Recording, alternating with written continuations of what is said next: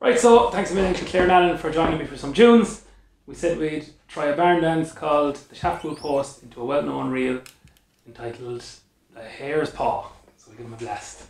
Ready, so? One, two, three, four.